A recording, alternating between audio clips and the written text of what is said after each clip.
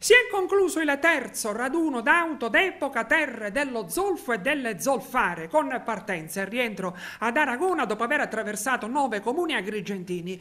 Ad organizzare l'evento è stata l'associazione Solfare Historic Car, il servizio di Gaetano Ravanà. Pezzo di video che si casonano il fascino delle nonnine colpisce ancora. Oltre 100 le auto d'epoca e le moto che hanno dato vita nella giornata di ieri al terzo raduno delle terre dello Zolfo e delle Zolfare, un evento organizzato dall'associazione Solfare Historic Car.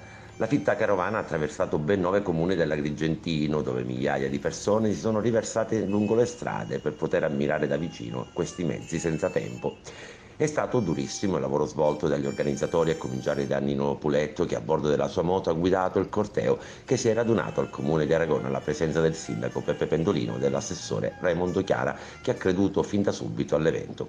Che si tratti di un vero e proprio evento lo dimostra la partecipazione di diversi appassionati che sono arrivati da ogni angolo della Sicilia.